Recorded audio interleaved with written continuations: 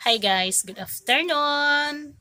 Magandang tanghali, good morning, magandang gabi. Welcome to my vlog. For today's video guys, i-share ko sa inyo ang ang aking tindahan na walang bumibili ngayong oras na to. Sa sobrang init guys, grabe ang mga tao nagtatago sa bahay nila. Walang bumibili. Katatapos ko lang maligo alas ala una na pala ngayon guys ng hapon. Umiidlip ako kanina tapos pagkatapos nagising ako kasi may bumili. Naligo na lang ako kasi mainit masyado. Grabe talaga guys. Tumal na nga mainit pa. Wala na tayong pagpipilian ito yung electric fan ko nga guys, mula kagabi hanggang umaga, hanggang ngayon, buong araw nag, nakaandar, buong araw at buong gabi. Nag, malaki na yung bill ng kuryente natin at ngayon. Kasi sa sobrang init. Pinapawisan ako kahit bagong ligo. Oh. Ang malakas ngayon binibenta ko ay yellow guys. Malakas ang yellow. Kasi may kapitbahay na kami na nagbinta ng ano ice crumble. Bumibili siya sa akin ng yellow. Kaya yun ang yellow ang malakas kasi mainit.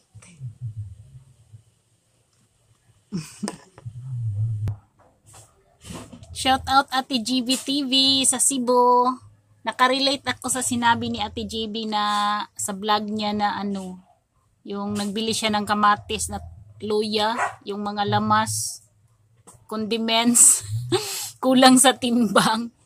Napansin ko kasi dito, Ate JB, no, yung bumili ako na may naglako ng isda. Uh, ikwento ko na lang. Nag, nag, uh, bumili ako ng isda, yung bulinaw, yung maliliit na isda tapos, ano daw, 120 ang kilo. Tapos, binili ko, binili ko media, one half. Tapos, pagbigay niya, hindi kasi ako nakakita pagtimbang niya. Sabi ko, media na ito, one half na ito. Sabi niya, oo, oo timbangin mo pa. Sabi ng kapitbahay kong isa, aba, may, may timbangan yan kasi may tindahan. Tinimbang ko talaga kasi sabi niya, timbangin mo pa. Kaya tinimbang ko kulang ng ano, isang one half grams ang kulang. Kaya binalik ko sa kanya. Tama ang binayad ko sa kanya eh. Tapos sabi ko sa kanya, kulang man. Dinagdagan niya. Marami pa ang one half grams guys sa, sa bulinaw na fish. Isang ganun, isang isang dakupan niya. Marami pa. So kung wala akong timbangan, lugi tayo, mamimili. Kaya mag-ingat din tayo sa mga ganyang naglalako. Ito guys, i-share ko sa inyo itong mga big notebook. Dati, ang bili ko nito is 29 pesos lang. Tapos ang binta ko nito is 35 pesos. Last week, Sabado ata yun, bumili ako na nito, limang piraso. Ang kapital guys, 39 pesos na. So, binibenta ko na ng 45. May bumili guys. 45 na ang benta ko dati, 35 lang. 10 pesos ang itinaas.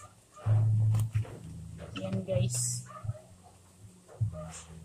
Kaya pala na last month walang stock nito. Pagbalik mahal na.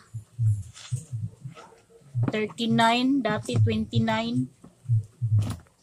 Mahal na talaga. Pati yung mga notebook na maliliit guys. 22 na ang kapital. Dati tig 16, 18, ganyan lang yun. Ngayon 22. Binibenta ko ng 28. Plus 5 lang ako guys.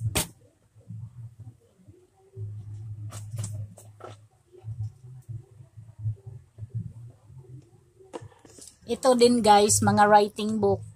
Mga kinder at saka ano ang gumagamit nito, grade 1. kasi nawawala yung may kapitbahay kaming may ano kinder. Kahapon pa lang bumili, nawala na yung notebook niyang isa. Bumili na naman yung nanay niya dito ka, kanina. Bumili na naman ng isang writing book. Ito na lang ang naiwan guys, o tatlo.